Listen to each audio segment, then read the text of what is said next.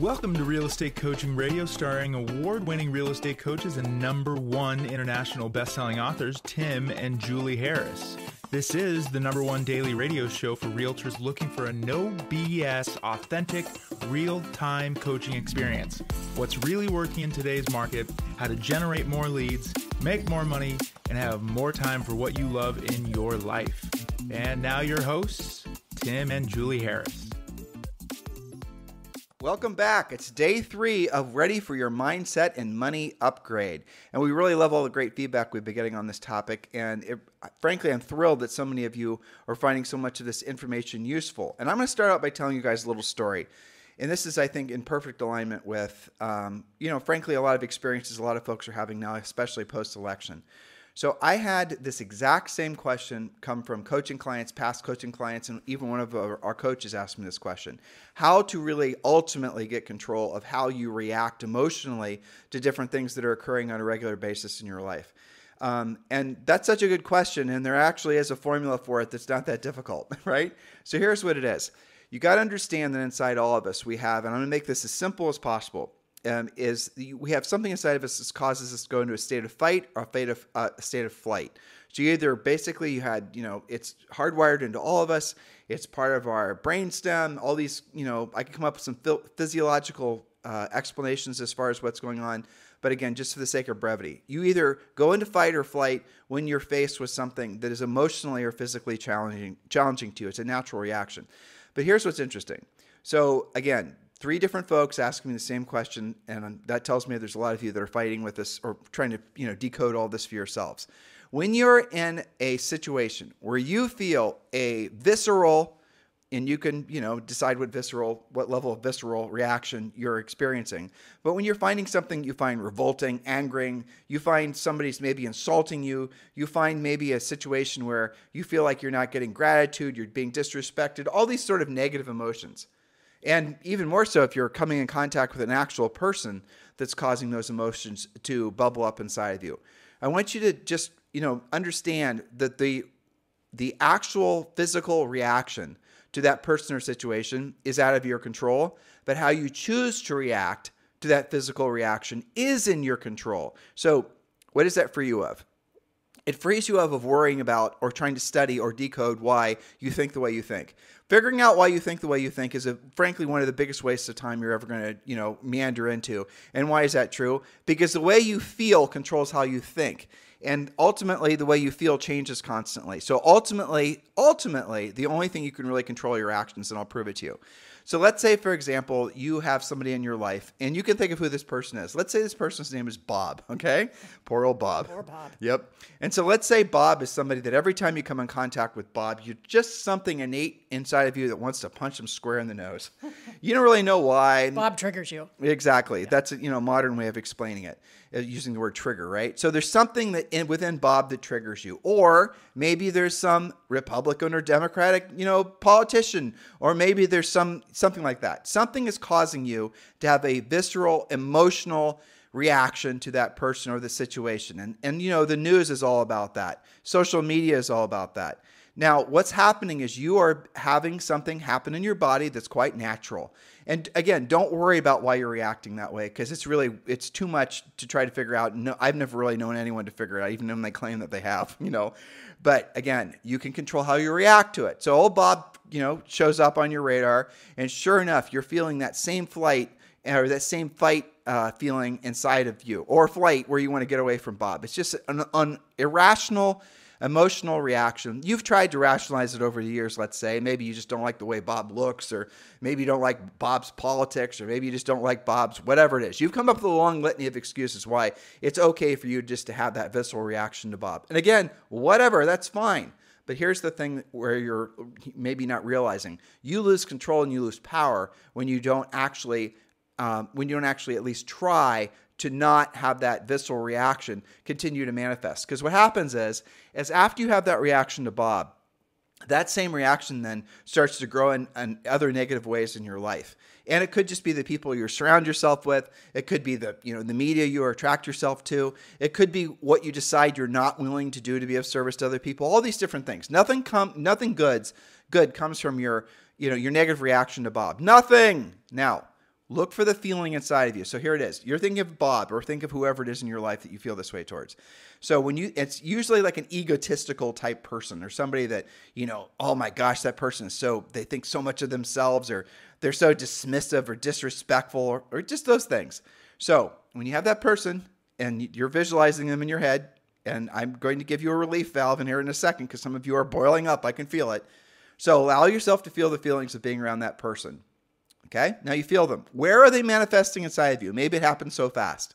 But generally speaking, where they actually start, and I mean this in a you know biological, physiological way, is in basically dead center, right above your stomach in essence. That is and why? Because there's glands, there's chemical things that are causing your body to it's the very, very beginning stages of fight or flight. And if you can feel that the next time you think of Bob or whoever it is, and you start and you just don't try to stop the feelings how you feel. Don't question why you feel the way you feel. None of those things. Just look for the feeling that you have when you're thinking or around bob and observe them. That's it. Oh there it is. Uh, here comes bob. I'm going to wait and maybe it's already happening right? But here comes bob. How am i feeling? Where is that feeling manifesting? Where did it actually start inside my body? And then you just observe it.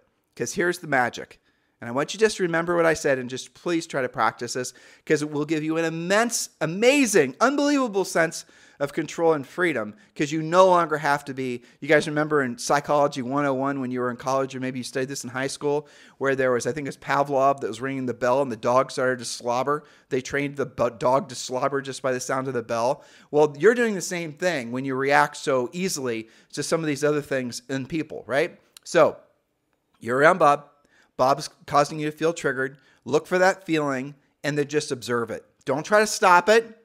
Don't try to question it. Don't try to rationalize it. Don't try to anything. Just observe it. Just look at it. Almost like you're looking at yourself in a petri dish and you're the little thing bouncing around in the petri dish. And you're going to then notice a couple things. First of all, when you become the observer of this particular thing that's inside of you that's causing you to react emotionally then you can then instantly, as soon as it is seen, it stops. So the vitriol you had manifested over time towards Bob, right, is now no longer involuntary. It's now something that you observe. And as such, you actually stop feeling that way. Now, here's what's really magical.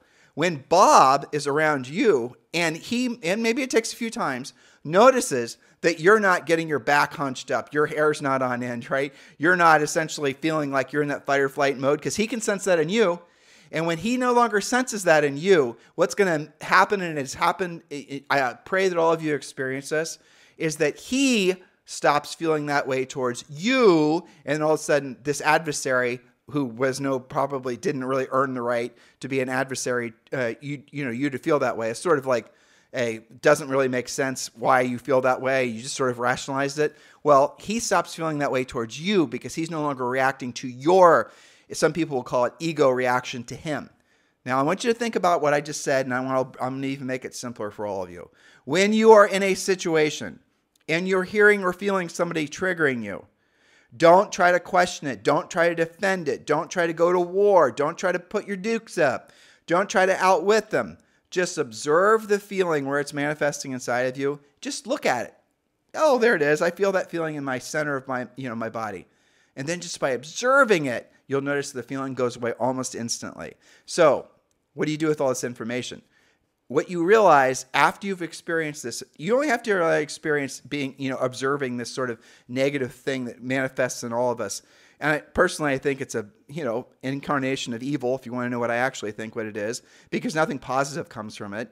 But you know, and it's an involuntary thing. And really, I think a lot of media nowadays is designed around essentially eliciting that feeling inside of humans because then you're manipulatable. Because if I get you to believe, for example, one political side is evil, you know, and the other is good or just whatever, if I get you actually to believe that and you're not in control of your emotional reaction, Who's in control? The media's in control. I'm in control. If the government or you know a, a, business or anything else can get you to worry about a particular thing, and they know how to trigger you to the point where you're not mentally and emotionally and spiritually in control how you react, you're not in control. You're just a lemming. You're going to buy what they want you to buy, vote who they want you to vote for. You're going to think the thoughts that they want you to have. But if you become the observer of that manifestation inside of you, just watching it, not judging it, not giving it any power, not questioning it, not saying, well, it's because I got beat on when I was a little kid or, you know, because I didn't get enough strawberry ice cream at my third birthday, all these things. Nope, don't do any of that. Just observe the emotion and then it ceases to have power over you and you then become somebody completely different because you're now in control of how you're going to react to uh, certain situations. Now, you'll fumble sometimes, you'll slip up. That's normal. You're human. Forgive yourself for that and then get back to processing that and practicing that internal, you know, barometer of how you're feeling to different people. And once you've done it once, and this is the magic of it, I promise you, once you've actually done it once, uh, after that, it becomes very easy. Two or three or four more times after that, and then it's going to be almost impossible for somebody or something to trigger you. I'll tell you though, the only people that really can trigger you once you're consciously aware of this, uh, frankly, this, uh, I think this the power that you have. Yeah, the power that all of us have are the people that are the closest to you because you know frankly you allow them into you know they're you know they pass through more filters faster and sometimes if they're having a bad day or if they say things that are you know triggering to you you won't necessarily be able to stop yourself as fast from reacting but other than that i mean i'm guilty of that occasionally for sure and Julie's definitely guilty of that. we all are. Yeah. I, have had coaching calls where uh, team leaders whose family works with them or for them, um, we talk about the fact that because they're close to you, they probably take a little bit more leeway.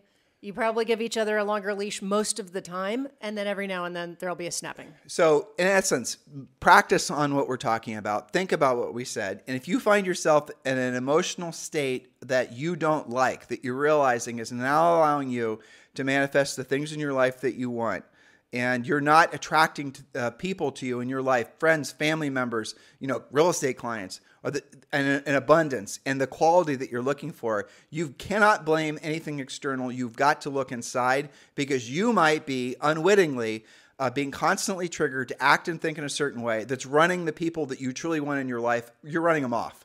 So do take all this into consideration and do some self work on this because it is incredibly rewarding. And again, I had this question, various variations on this question. I know it's because the election just happened, yeah. and I know a lot of people are dealing with how to deal with people, you know. And guess what? We're going into the holidays, which are always full of a lot of stress. Hey, there's you know Uncle whoever who you haven't seen forever, and the last time you saw him, he was really disgusting, and now you have to sit across from him at Thanksgiving. Who thought that up? Whose fault is that? Right. I know it, it, definitely comes out during the holidays, and the holidays uh, after a contentious election just throws fuel on those flames, doesn't it? Well, but you know, I, you know, along those lines, these people that are coming out with crib notes for you to take to your Thanksgiving dinner. Oh my gosh! So you can talk down the liberal or the lefty or the conservative, the Trumpian or whoever the hell it is You've got to realize how nasty. I'm going to tell them about something else. Okay. All right. So I've got a podcast that I listen to that I guarantee you none of you guys listen to. It's an automotive uh, podcast. Julie's laughing at me because I, I know. Yes, I know this is all related. Yeah. Well, it's okay. It's all right. so so she uh, this this podcast in particular, Jerry Seinfeld's on it occasionally. Um, and I listen to it occasionally. And the podcast is automotive based. That's my hobby. Some of you guys know yes, you can feel sorry for me. yeah. Anyway, so um, I'm noticing that they're becoming more and more political in their views. And I won't say what side of the aisle that they're on. But it's becoming to the point where it's really unlistenable because they're just acting at such low class and so just disgusting. It just is really it, it's unreal, really. And that's not what you what you started listening to them about anyway. So I I messaged them and I said, you know, here's the thing. Um, I realize it's your podcast, and Julie and I have a podcast, and the whole thing. But maybe you need to take into consideration how expansive your audience could be if you didn't. Well, I mean, there's no sense in me telling the story without telling the whole story. So these guys were very left leaning on their podcast, and it didn't come out that frequently, but now it's coming out all the time. And look, I don't care what their political leanings are. I'm there to listen to you know car banter, uh, but it's getting to the point where it's unlistable, and they're just being absolutely nasty. And I, you know, messaged him and I said, so you might want to take into consideration that after the election, it kind of proves out that most of the country, a majority of the country, you know, voted on the opposite side of, of the, you know, people that maybe you're not realizing you're, you know, you're trying to attract or just saying whatever you're saying, just the whole thing. And he gets back to me and we had kind of a fun exchange. I'll let Julie listen to it or read it rather. He gets back to me and basically tells me to F off said it's his creative thing, and he's going to say wherever the hell he says, and he's going to say however he wants to say it. To which I said, I, you know, respect that. I understand completely, and I, you know, I'm just maybe just trying to help you guys realize that you're running potentially running a lot of people off. And um, he kind of calmed down in his text, and then he told me something that's made a kind of a profound impact on me, and I've been thinking about it since yesterday.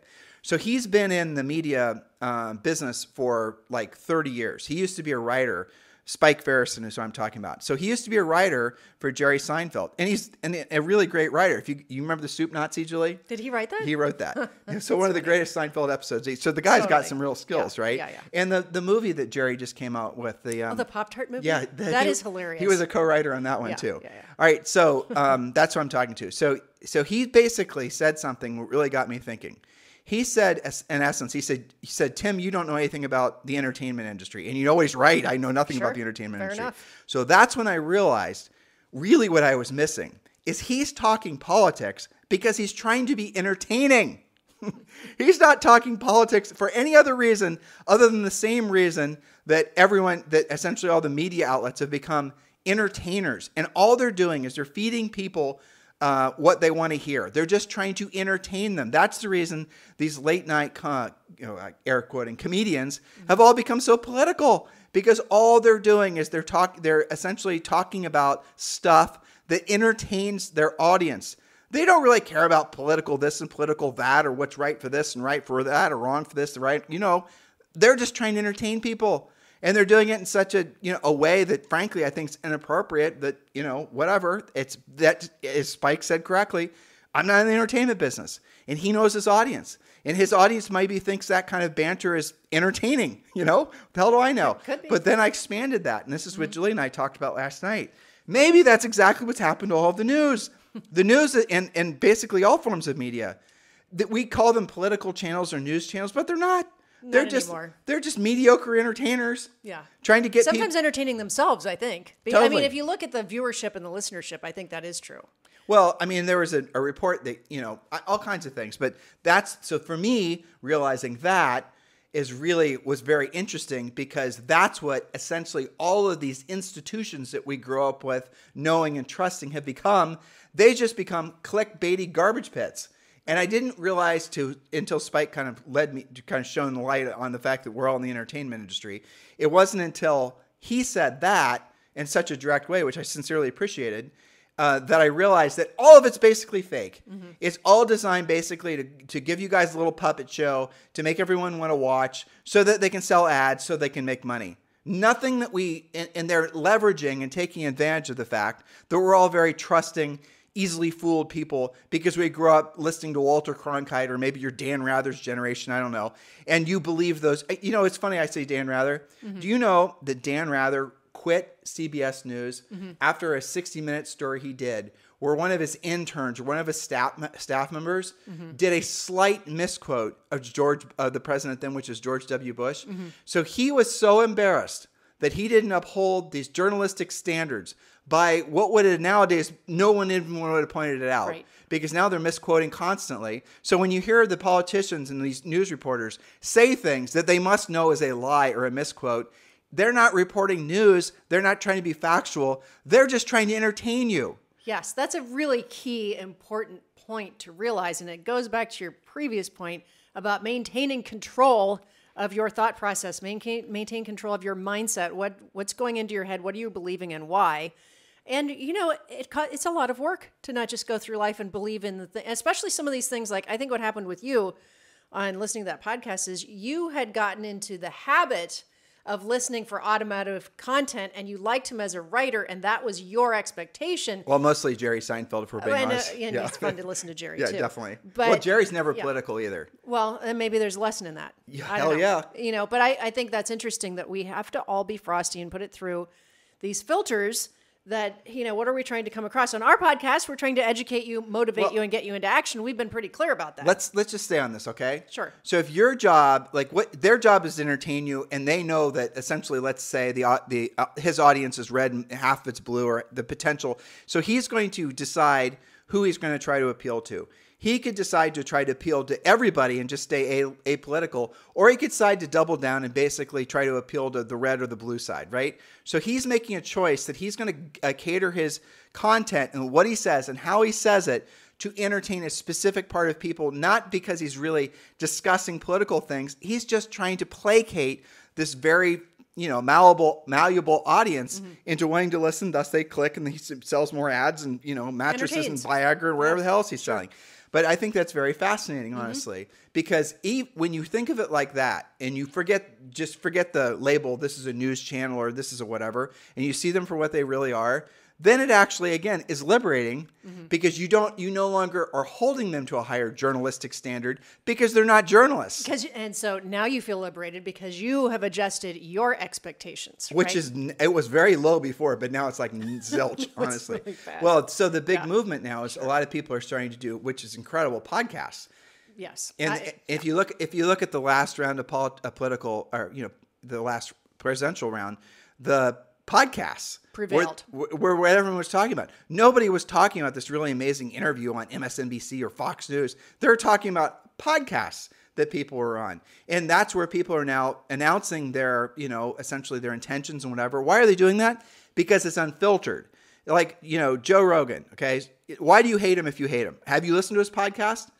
Or do you just believe what other people said about him? You should listen to him because I got news for you he's not really very conservative in most of his views. I think he's he's fairly well balanced. The thing about Joe, and I, I mean, to me, he's mostly a dude's podcast because he has you know wrestling on and he has hunting on and stuff like that. But he has a big variety, and I listen to and I like some of Joe's podcasts mainly because he asks really great questions. It's a longer form podcast, so you, I, I think for me, the second or third half hour is better because he gets people to sort of calm down. Well, that's the point. He brings out some real conversation. He brings out some real thought without. He doesn't generally get combative with people. I mean, yeah, occasionally, but no, no, no. But that's not does. his thing, you know. Well, so yeah. Moral of the story here is is when you're deciding to be yourself as the best version of yourself as a real estate practitioner. I realize that some of you are, and I've had uh, coaching clients uh, have pointed this out to me, and I agree with them that if you aren't 100% firmly entrenched in one side of the aisle politically or the other, and your entire marketplace is, you know, and you're not, or you're trying to be neutral, or you're, you know, being a renegade and you're trying to be the opposite of what the vast majority of your community supports or think is true, you're probably going to be ostracized and you're probably not going to do any real estate deals.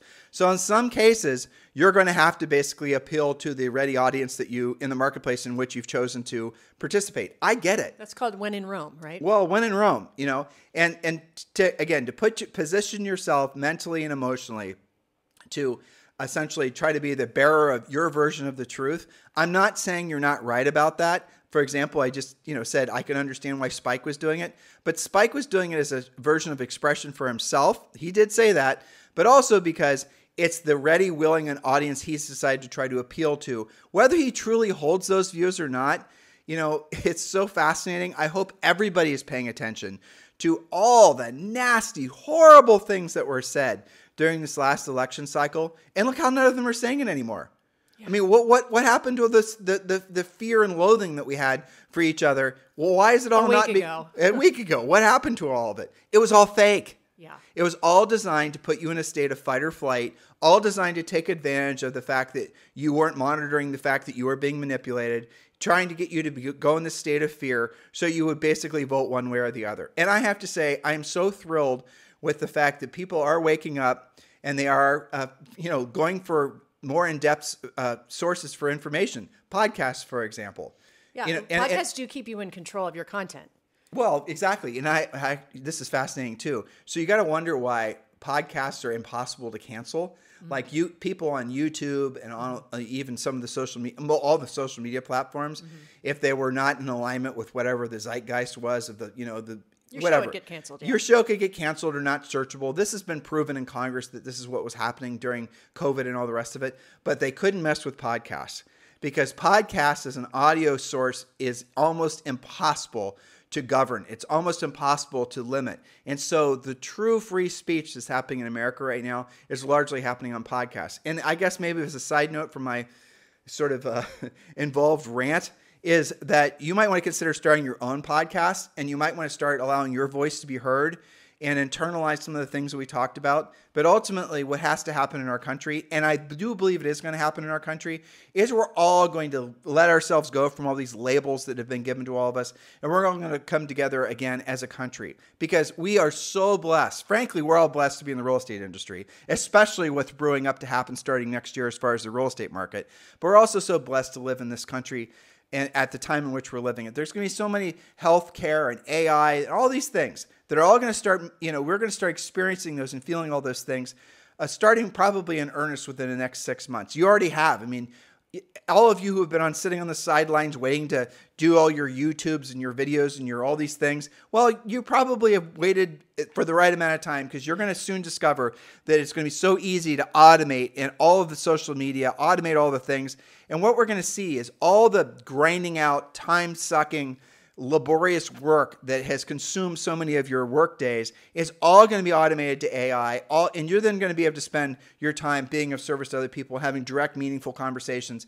And that's the way that you're going to stay relevant in real estate forever. There's never going to be a world without doctors. There's going to be AI that actually will do a lot of the doctor's work, but you're still going to meet with AI is going to say, This is your problem, this is your solution. You're still going to want to meet with a doctor. That's going to happen in law, that's going to happen in real estate the human brain is designed to want to have a, a big kumba, right? Essentially, give you a, a, authoritative blessing to whatever decision you're trying to make with regards to this stressful thing, buying or selling real estate, for example. That's what you are if you earn the right to be. And so you've got it, and the only way you're going to leave room in your heart for wanting to be of service to other people at that level continuously is if you really you have to get in control of what you're allowing yourself to be triggered by, and hopefully, you know, what I just shared with you guys will be beneficial. Yeah. I mean, it gets back to controlling the things that you can control, recognizing the things that you don't want in your mind and your psychology, letting go of those things. And to reel it back into our topic du jour, well, showing Julie, some listen. gratitude. They can get the notes because right. we've talked for a while. But I think that the thing that gets you back on track are some of these gratitude points that we've shared with you over the past three days so that you get into that habit. And you remember it, when we started the series, you were talking a lot about you get back what you put out there, right? Well, you you want grat. So if you if you write down the negative emotions that you're feeling right now, um, and this is actually I did this exercise with somebody the other day, and I asked them to write down what they're feeling, and they fought me with it because they didn't want to let it go. They didn't want to say the words out loud because then they'd have to sort of resolve them. But it was a lot of really nasty things they thought about themselves. They found themselves they thought they were unattractive physically. They thought they were not getting appreciated, and this person in particular felt they were passed over at their brokerage or some award. There weren't, you know, there were some issues with their spouse, and they weren't necessarily feeling like they're. I'm trying not to say he or she because they're listening, and I don't want them to, you know, feel like I'm talking at a church here. All those things. I had them all write them down, and then I asked them the very the the first question I asked is, "How do you know those things are true?" And then, you know, how do you know those things are true? That you're, you know, essentially what you think is what people are imposing upon you is true. How do you know that's actually true? Do you think there's an organized cabal of people that are trying to basically make you feel terrible about how you look? And then the next question is, is who would you be if you no longer felt that way? And that lets it go. Who would you be if you no longer felt that way? Because then what you're doing is you're unplugging from that constant reinforcement cycle of those negative emotions. Because those negative emotions you've been carrying around for years and for decades. And it all goes back to that internal triggering. You're just in a habit. So, how do you actually move beyond all this? Look, every self help book, I have to say, this is funny. So, Julie and I, when we go to Barnes and Nobles, there's not one in Puerto Rico, but when we go to Barnes and Nobles when we travel, so our book is almost always on the opposite side of the long aisle of self improvement books. Yeah. So on one side, you'll have like a football field of self improvement books, true. which are all basically about the same thing. And the opposite side, you'll have our book. And last time I looked, wasn't our book next to something called Crypto Dad? Crypto Dad, yeah. it's kind of in the business section, but it's next to the self improvement section. Right. Well, yeah. the thing, is, I, every time I see that, I always think to myself, boy, we are dumbasses. We should have read a self improvement book because clearly there's a huge Seriously. demand for it. But what all those self improvement books are trying to do is get you to solve the impossible uh, problem, which is trying to figure out why you think the way you think. And I'm here to liberate you from that and tell you the truth. Who cares?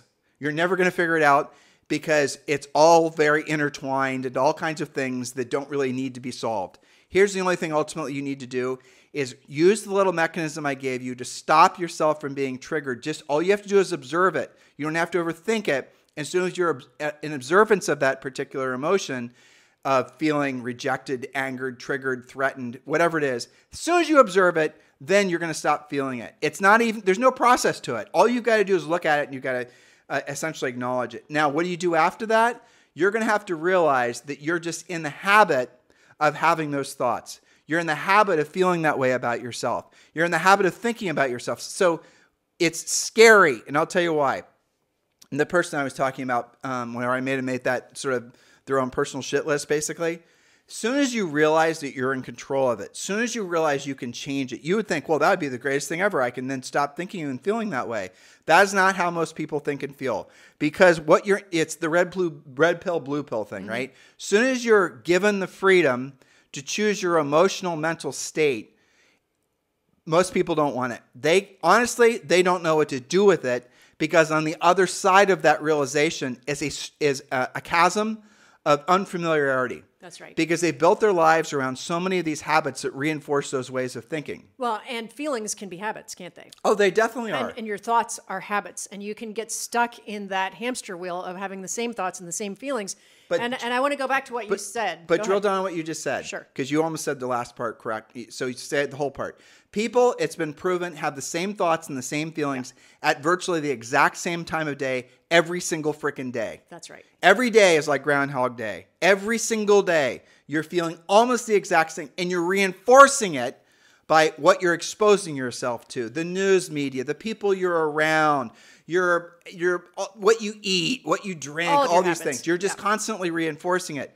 But when you realize that you're actually in control of it, if you don't like how you look, feel, think, if you feel unappreciated, if you feel unloved, if you feel unsuccessful, all those things, you're in control of that. And it starts with basically realizing that, you know, just look for that feeling, look for the emotion, observe it. And then when you feel it, just don't don't judge it don't value it don't try to decode it just observe it and then it stops being so powerful you do that a few times then you're going to be somebody that walks around, and I don't mean to sound woo woo, mm-hmm. in a higher state of consciousness well, where you're going to be, it is, where you're going to walk around a higher state of consciousness where you're not going to be so damn easily manipulated. Yeah, that's right. Because when you walk around that way, it doesn't really take that much to trigger somebody. They're already on the edge. They've already had all these thoughts. But it's their on. habit to be triggered. It's their habit, right? Now, when I, because I try and, you know, self monitor some of these things, I want to go back to something that you said a second ago, which is your, your, um, talk that you had with that person that we aren't saying who they are, um, where you were they were observing. I feel this way. I have this thought. Okay,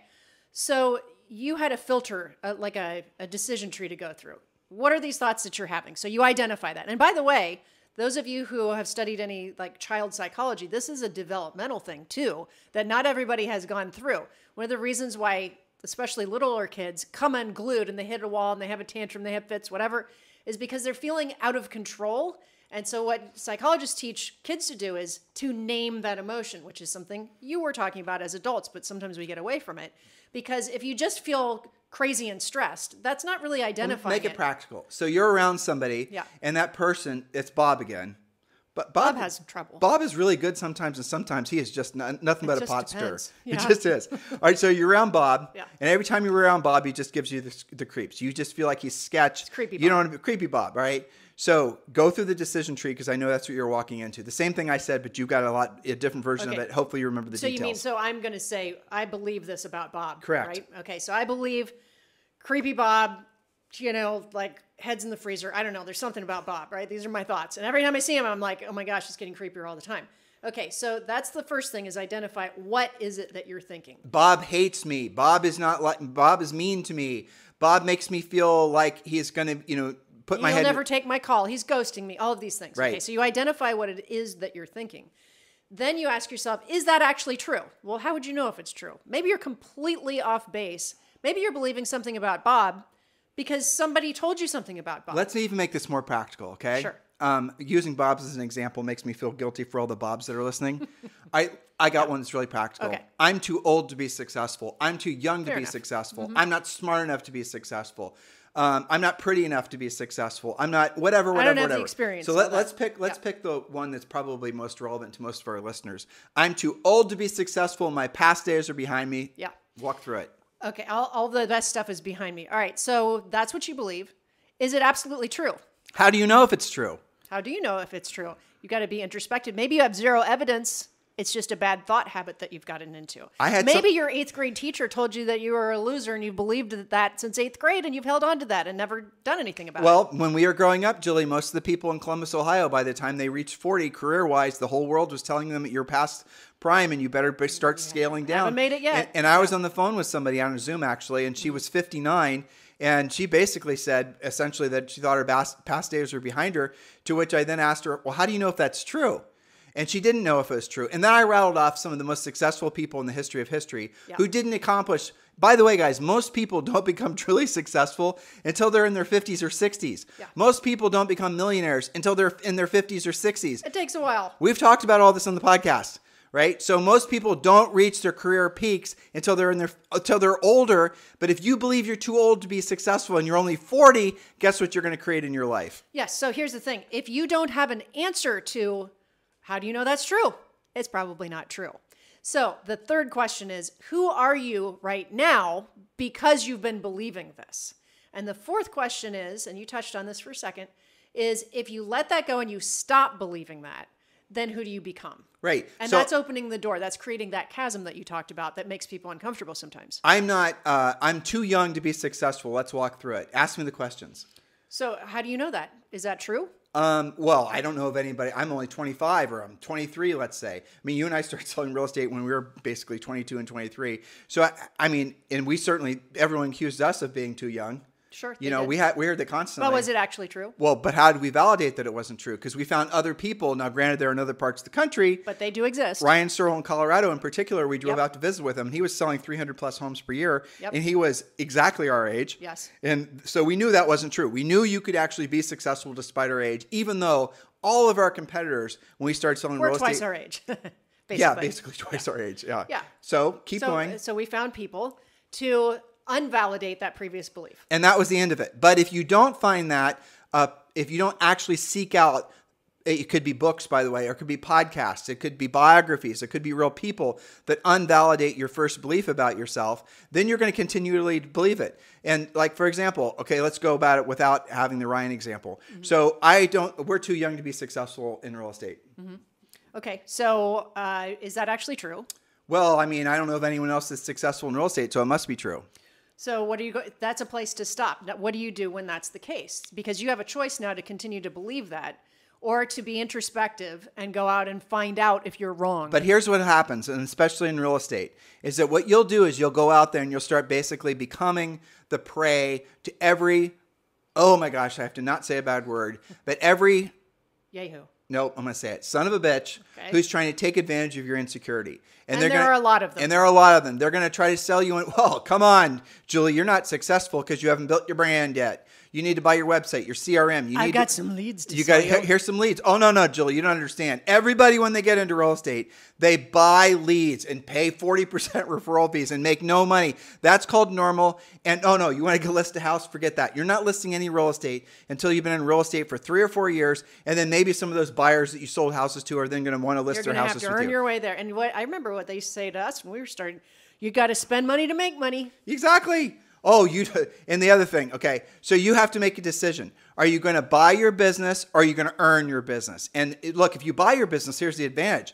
You can then spend more time doing other things and you can, you know, they they have a very elegant way of trying to get you to rationalize spending money for something that gets you essentially dubious results. You might get business from the leads that you're buying, for example, or the branding exercise or the social media thing you're doing. You might get business from it, but unless you know to actually put pen to paper and figure out how much actual profit you made from that, because in most cases, you're going to realize you would have been literally better off being a barista at Starbucks, yep. especially now that they're supposedly getting a raise like $35 an hour. Yeah, that's right. Well, and, but it's and true. they get insurance too. But it's true. Yeah. But if you believe sure. it's true, if you believe yeah. you're too young to be successful in real estate, unless you build a brand, unless you do all these other things, unless you've actually done the work to validate that that's not true, you're going to go down the wrong path and you're probably going to fail, yep. which is ultimately what's happened to so many agents that have come into this industry and that's the reason it pisses me off mm-hmm. is and i'll tell you what else i'm seeing a lot of older agents mm-hmm. who are now internalizing the nature of the market which is by the way the crappiest market since 1998 so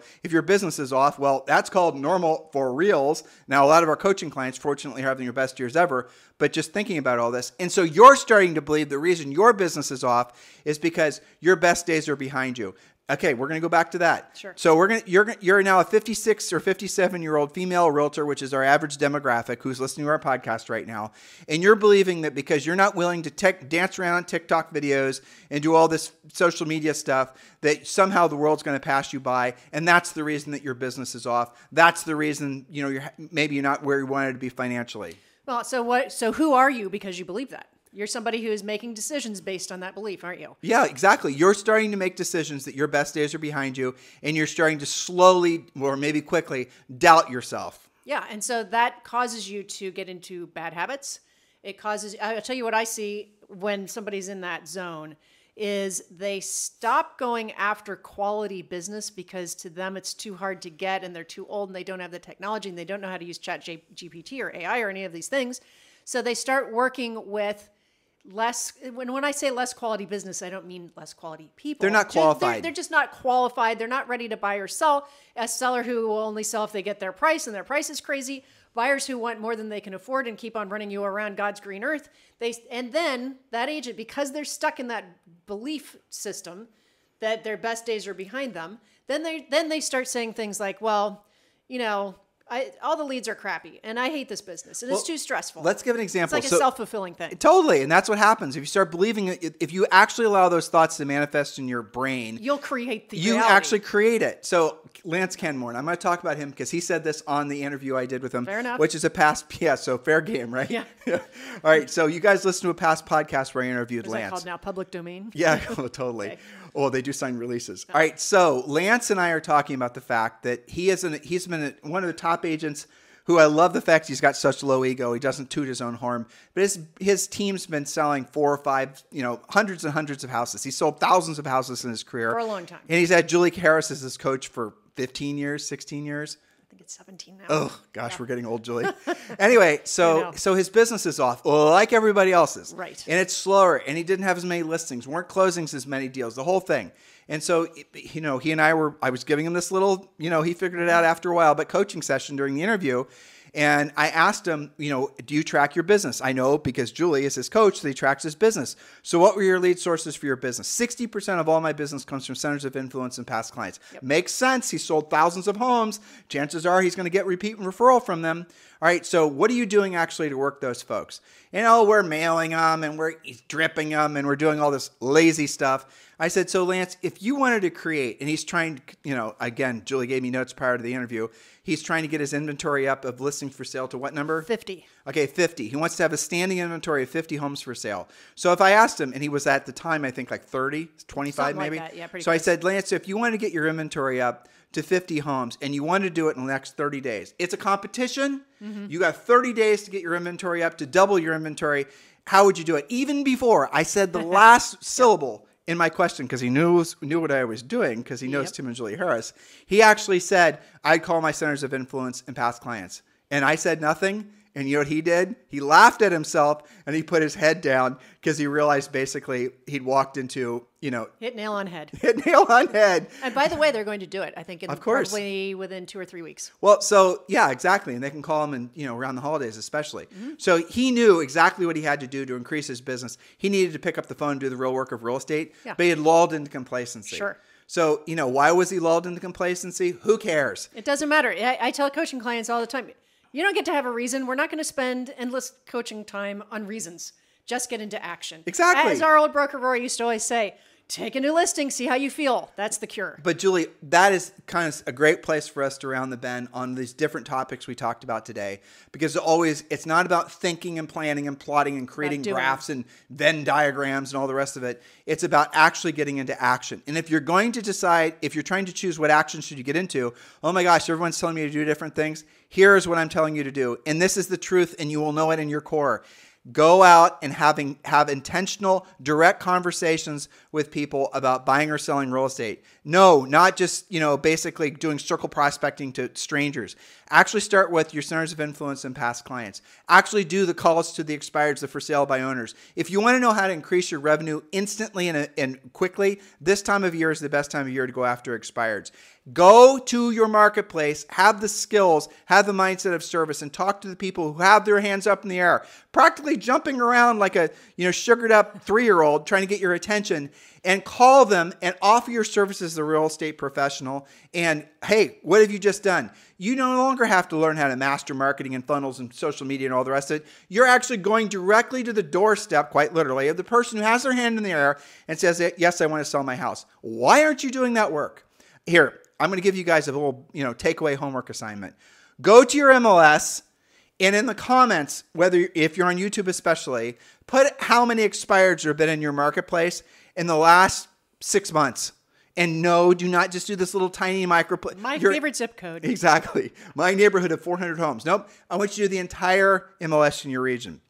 And here's what you're going to find thousands of expired listings thousands of expired sellers that all want to relist their houses. And I'm going to give you something that's hopefully going to motivate you. It's again, this is probably about 10 year old information, but I'm sure it's still true. 90% of all expired sellers will sell their home within six months of it expiring. They all relist, even though I might say something when you call them if you don't have the skill set, you know, you'll learn all these things. 90% of them relist, and most of them, when they relist, begrudgingly relist with their previous agent because they don't know another realtor. How about that? That's right, because you haven't talked to him yet. Right? I mean, this is what we teach you in Premier Coaching. So if you're wanting to really move past some of the negative emotions and really the absolute misperceptions you have about yourself and your potential on this planet as a real estate professional, you really need to give yourself permission to be uncomfortable, allowing yourself to step aside, is to really move out of your life all this sort of negative feedback loops that we have normalized. You need to accept the fact that your best years, and I do not care how old you are, because that's what people always try to hit me over sure. the head with, yep. are in front of you because they are. We've had coaching clients in their 70s and their 80s who basically wanted to, you know, have more experiences in their lives.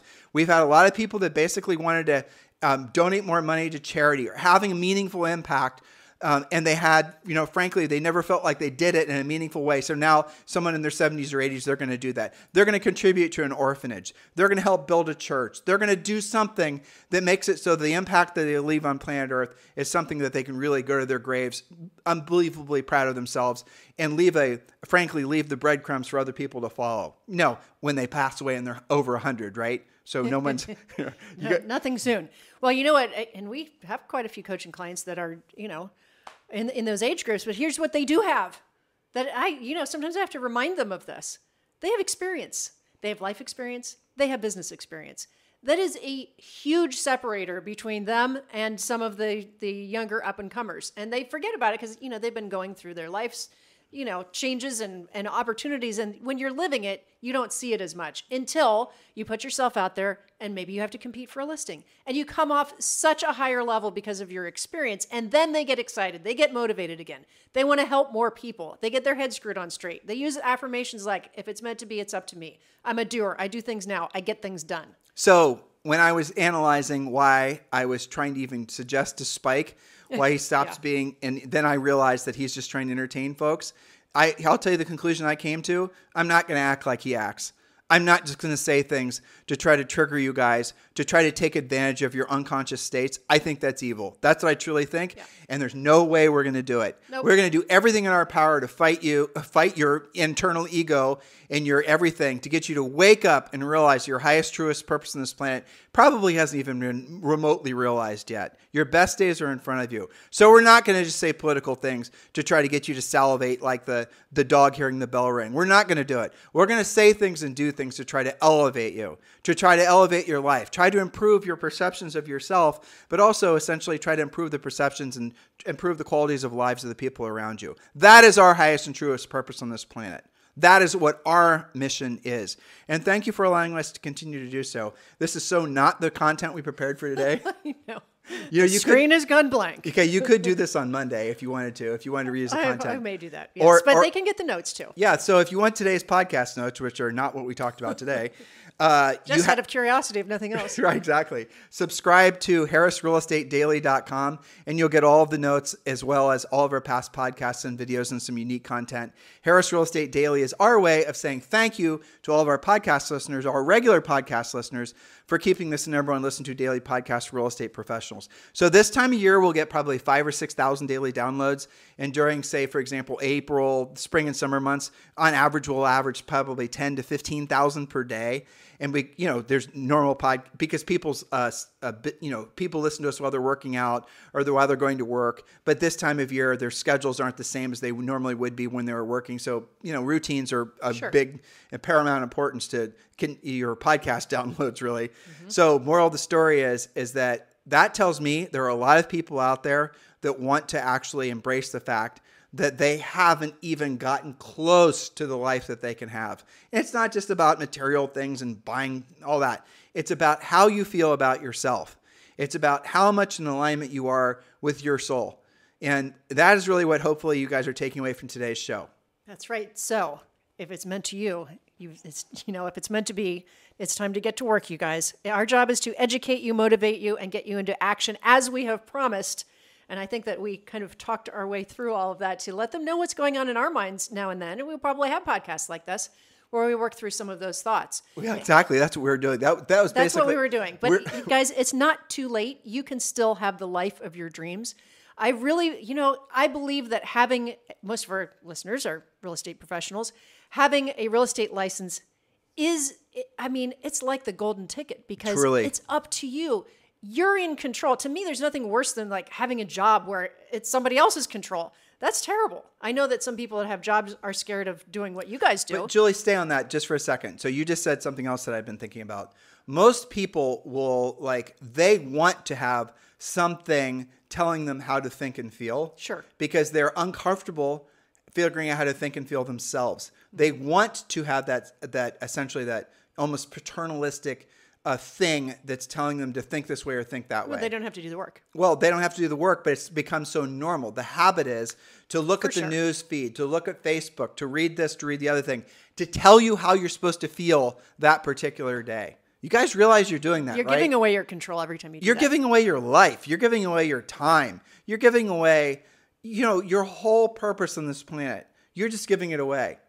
In, I'll, let's just end with this, Julie. Sure. A gift you can give to yourself is going media free.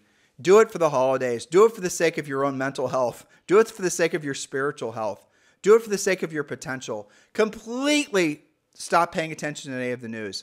Go completely cold turkey on all of it and you will notice you're going to go through the same stages of withdrawal that you went through maybe the last time you tried to get off caffeine, which I don't know why Ann would, but you know, but you guys get the point, right? So you're going to go through little physical feelings of withdrawal, of insecurity when you get off media. But on the other side of that, and, and here's the reason that a lot of people revert back to the old bad habits of essentially allowing media to tell them how to think and feel, because they don't have them, uh, they don't have the foresight and they don't have a plan and how to fill the chasm. Because if all of a sudden you're not spending 10 hours a day paying attention to social media, paying attention to all this manipulation that's all around us, what are you going to do with that time?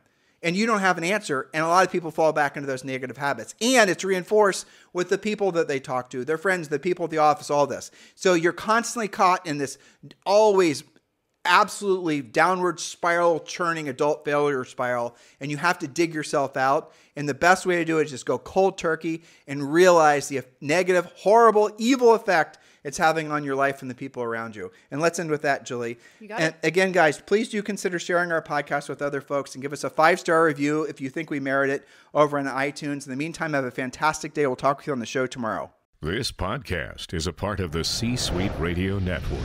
For more top business podcasts, visit c-suiteradio.com.